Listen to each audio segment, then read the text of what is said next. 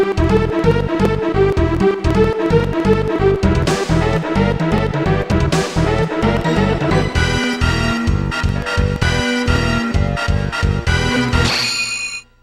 gang, Jakalair here, and when most people think of fighting games, they think of Street Fighter 2, Mortal Kombat, Samurai Shodown, Soul Calibur, Tekken, one of those games. And nobody ever thinks of Dual Heroes. There's a reason for that. Now I picked this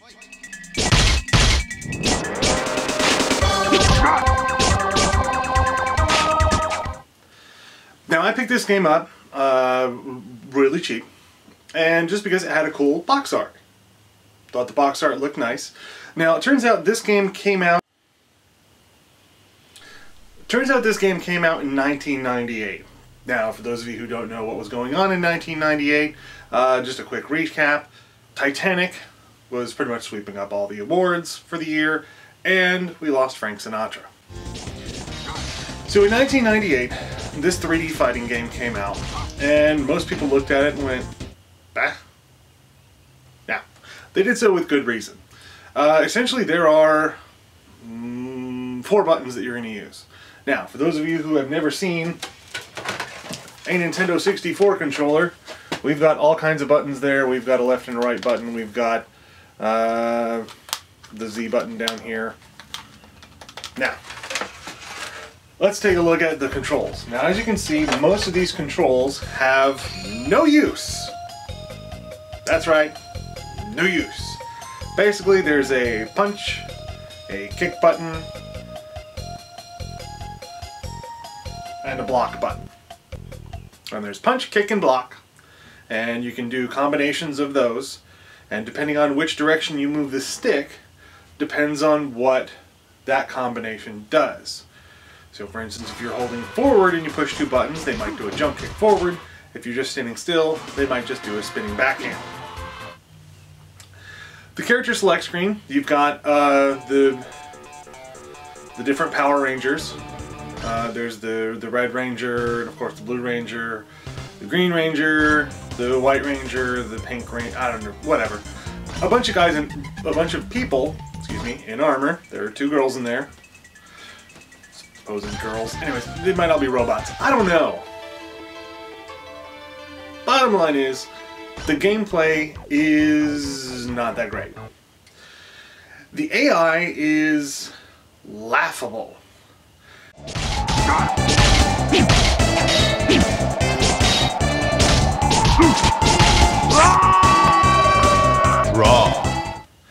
For the most part, the, the starting out rounds...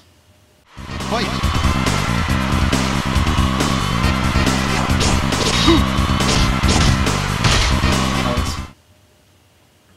they just stand there and let you kick the crap out of them. And then they start getting to, there'll be some people who are in close offensive fighters.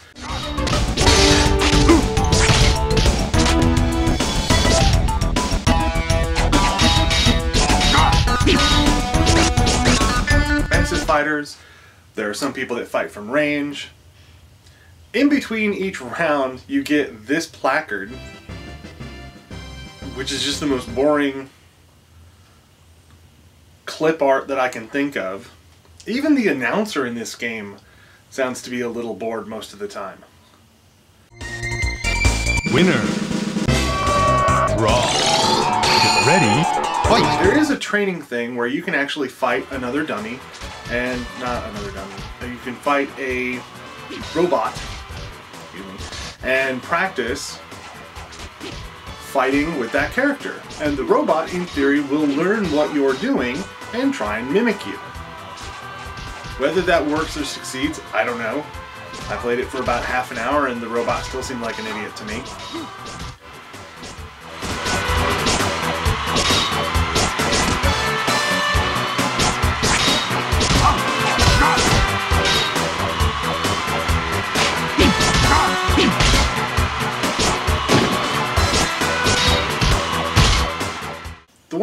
Actually thought had some promise was the arcade version. And basically what it is is that they're not the arcade version, but there's an one player versus VR, I think is what it's called. And you go in there, and there are different people hanging out in the arcade. So it's kind of a weird metagame. And you can go in there and play against them. Now, it turns out after I did some more reading after I started playing this, and there are actually unlockables in there to where you can unlock more people, and you can challenge them and play them, and then if you, the more you win, the more something happens. I don't really know, but it's kind of a cool idea because you could go in and have these pretend people, these VR people, in there and then play against them. And you would find out that, you know, some are real aggressive, some like to back off and do counterattacks, just like you find in most arcades. And then, of course, there would eventually be a, a super person at the end that would be, you know, just unbelievably cheap.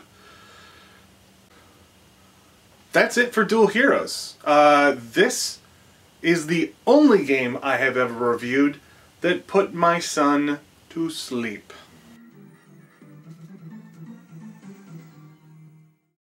Uh, if you like fighting games and you like the kind of weird ones, go ahead and pick this up. Might be worth a shot. Uh, it's usually really cheap.